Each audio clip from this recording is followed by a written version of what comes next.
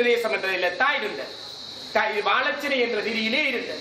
அந்த வகையிலே இங்கே இருந்த இங்கே குடியேறி இருந்த தமிழ் மக்களிடம் இருந்து இந்த காணிகள் சுவீகரிக்கப்பட்டு ஐம்பத்தி ஆறாம் ஆண்டு ஐக்கிய தேசிய கட்சி ஆட்சி காலத்திலே இந்த தொழிற்சாலை ஆரம்பிக்கப்பட்டு நடைமுறைப்படுத்தப்பட்டு வந்தது. இது ஆரம்பத்திலே வைக்கலோடு தான் இந்த தொழிற்சாலை இயங்கியது. இதற்கான வைக்கலுக்காக பல இடங்கள் தெரிவு செய்யப்பட்டது. ஆகவே இந்த தொழிற்சாலைக்கு இங்கு நானூற்றி மேற்பட்ட ஏக்கர் இருந்தாலும் வெளியிலே வயல்கள் வக்கீல்களுக்காக கிட்டத்தட்ட நாலாயிரத்துக்கு ஏற்பட்ட மேற்பட்ட ஏக்கர் காணிகள் இந்த தொழிற்சாலைக்குரியதாக இருந்தது.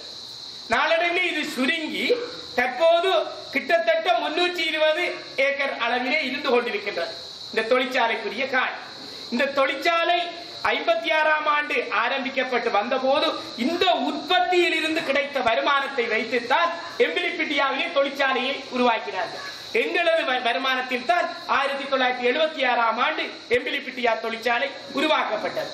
அது தவிர இதுல வருமானம் மிகவும் கூடுதலாக இருந்தபடினால் இந்த வருமானத்தை வைத்து கொழும்பிலே யூனியன் பிளேஸிலே இதுக்கான ஒரு தலைமை காரியாலயம் ஒன்று கட்டப்பட்டது. அந்த க- தலைமை காரியாலயமும் கடந்த ஒரு சில வருடங்களுக்கு முன் அவை விற்கப்பட்டிருக்கிறது கிட்டத்தட்ட இருநூற்றி ஐந்து மில்லியனுக்கு வித்து இந்த காயிலாலைக்கு செலவழிக்க வேண்டிய அந்த பணம் ஒரு சதம் கூட இந்த காயிலாலைக்கு செலவழிக்கப்படவில்லை. எம்பிலிப்பிட்டியா தொழிற்சாலை இந்த தொழிற்சாலை நிதியில் கிடைத்த வருமானத்தில் இருந்து ஆரம்பிக்கப்பட்டும் அது நஷ்டத்தில் ஓடுற என்ற காரணத்தினால ஆஸ்திரேலியாவோட தொடர்பு கொண்டு அவுஸ்லங்கா என்ற திட்டத்துக்கு கீழே அறுநூறு மில்லியனுக்கு கொடுத்திருந்தார்கள். அதில் முதற்படியாக நானூறு மில்லியனை பெற்றார்கள் பின்னர் இருநூறு மில்லியனை பெற்றார்கள். ஆனால் இந்த தொழிற்சாலை கவனிக்கப்படாமல் இருந்தது. யுத்தம் நடைபெற்ற போது இந்த தொழிற்சாலை இயங்கியது. கிழக்கு மா வடக்கு கிழக்கிலே யுத்தம் நடைபெற்ற போது இயங்கிய ஒரே ஒரே தொழிற்சாலை இந்த தொழிற்சாலை. யுத்தம் நடைபெற்ற போது ஆயிரத்தி தொள்ளாயிரத்தி தொண்ணூத்தி நாலாம் ஆண்டு ஆயிரத்தி தொள்ளாயிரத்தி தொண்ணூத்தி ஐந்தாம் ஆண்டு சிறந்த வர்த்தக விருதை ரெண்டு தடவை ரெண்டு வருஷத்தில் இந்த தொழிற்சாலை யுத்த காலத்தில் பெற்றது. இது சிறந்த வர்த்தக விருதை பெற்ற ஒரு தொழிற்சாலை.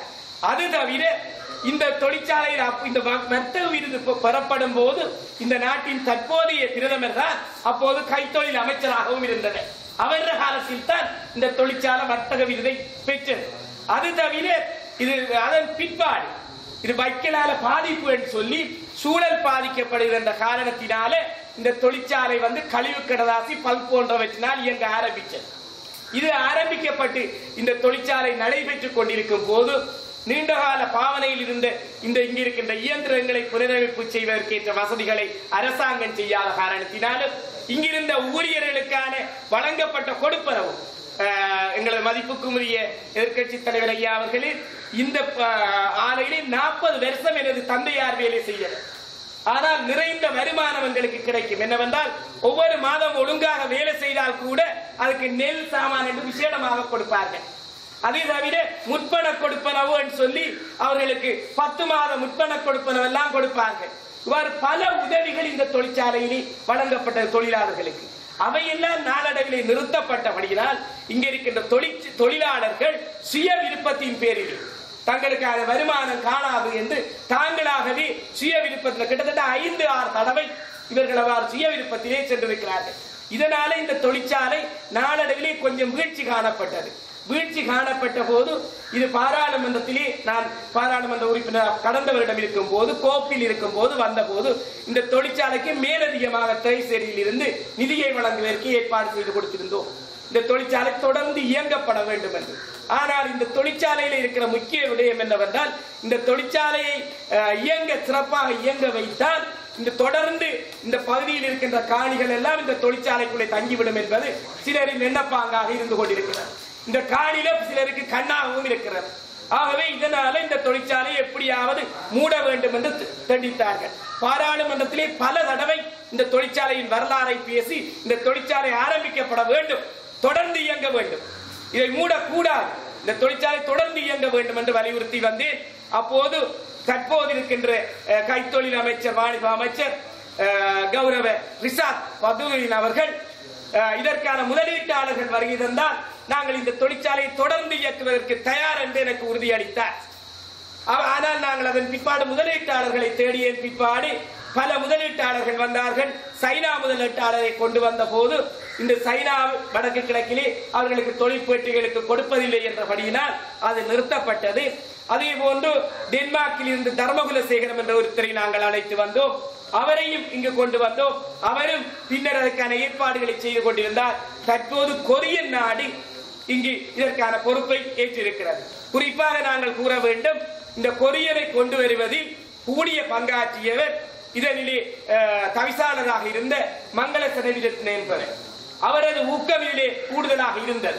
இதனால் தான் அந்த கொரியன் நாடு இருபதினாயிரம் மில்லியன் டாலரை இந்த வாழைச்சேனை கடதாசி ஆலைக்கென்று ஏற்பாடு செய்தது. இதன் நிமித்தம் நாங்கள் அஹ், பிரதமர் அவர்களின் அலுவலகத்திற்கு சென்று அங்கே பிரதமரின் ஆலோசகர் பாஸ்கர் லிங்கம் ஐயா தலைமையிலே ஒரு ஒன்று கூடலை நடாத்தி அதே நேரம் வர்த்தக வாணிபத்துறை அமைச்சின் செயலாளர்கள் உதவி செயலாளர்கள் நாம் வந்திருந்தார்கள். இதற்கான விளக்கத்தை கொடுத்த போது இதை தொடர்ந்து இயக்குவதற்கும் இந்த கொரியன் பண்டை இதற்கு பயன்படுத்துவதற்கும் அவர்கள் தீர்மானம் நிறைவேற்றினார்கள். ஆனால் அதன் பிற்பாடு இது திட்டமிட்ட வகையிலே கைத்தொழில் அமைச்சிலிருந்து இருந்துதான் எழுதி கடிதம் கொடுக்கப்பட்டிருக்கிறது. எம்பிலிப்பிட்டியா தொழிற்சாலைக்கு அந்த பண்டை பயன்படுத்த சொல்லி ஆகையால் நாங்கள் அதனை ஏற்க முடியாது. இந்த தொழிற்சாலையை மையமாக வைத்துத்தான் நாங்கள் அதனை கொண்டு வந்தோம். ஆகவே இந்த தொழிற்சாலையை இயக்க வேண்டும். இங்கிருக்கின்ற இரண்டு இயந்திரங்கள் ஜேர்மன் இயந்திரங்கள் பாய்லர். இவை ஆயுட்கால வரண்டி வழங்கப்பட்டிருக்கிறது இதற்கு. இதை இவ்வாறான இயந்திரங்கள் வேறு இடங்களில் இல்லை. அதே போன்று இங்கு கிட்டத்தட்ட இரண்டாயிரத்துக்கு மேற்பட்ட தொழிலாளர்கள் வேலை செய்தார்கள்.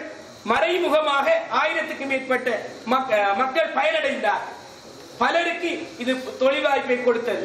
ஆகவே இந்த தொழில் இந்த தொழிற்சாலை தமிழருக்கு மாத்திரமென்றோ அல்லது சிங்களவருக்கு மாத்திரமென்றோ முஸ்லிம்களுக்கு மாத்திரமென்றோ அல்ல மூன்று இனமும் ஒற்றுமையா இருந்து தொழில் செய்த இடம். வடக்கு கிழக்கில் எல்லா தொழிற்சாலையும் மூடிவிட்டார்கள். ஆனால் இந்த தொழிற்சாலை இயங்கியது. ஆகவே இதை மூடுவதை நாங்கள் எங்கள் மக்கள் விரும்பவில்லை நாங்களும் விரும்பவில்லை.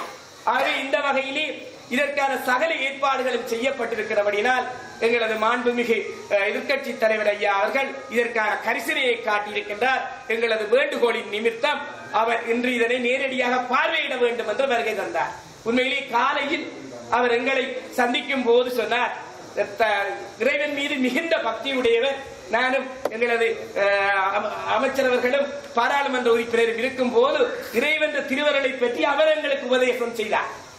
முதற்படியாக இன்று பிள்ளையார் ஆலயத்திற்கு வந்து பின்தான் அவர் ஆலைக்கு செல்ல இருக்கின்றார். ஆகவே இந்த ஆலையை முழுமையாக இயக்குவதற்கு தங்களின் பூரண ஒத்துழைப்பு கிடைக்கும் என்பது எங்களது நம்பிக்கை. என்றால் நீங்கள் எப்போதும் எங்களோடு இருந்து எங்களுக்காக பல சேவையாற்றிக் கொண்டிருக்கின்றீர்கள். இந்த தொழிற்சாலை இயங்க வேண்டும். பிரேமதாசா கமுதாவ திட்டம் கொண்டு வந்த போது இந்த தொழிற்சாலை பிரேமதாசாவின் கமுதாவைக்கு நிதி வழங்கியது. அவ்வாறு சிறந்த வருமானம் மிக்க ஒரு தொழிற்சாலை. இந்த தொழிற்சாலையை கட்டி எழுப்புகின்ற பங்களிப்பு எல்லாரிலும் தங்கி இருக்கிறது ஆகையால இந்த தொழிற்சாலையில எங்களது மாண்புமிகு எதிர்ச்சி கட்சி தலைவரும் எங்களது தலைவரும் மிக கரிசனையோடு இருக்கின்றார். ஆகவே உங்களது எல்லாரது ஒத்துழைப்போடும் அவர் அதுக்கான நல்ல முடிவை எடுத்து எங்களுக்கு தருவார் என்று நாங்கள் நம்புகின்றோம். அன்னாரின் சேவையின் கீழ் எங்களது பணியை நாங்கள் தொடருவோம் என்று தெரிவிக்கின்றோம்.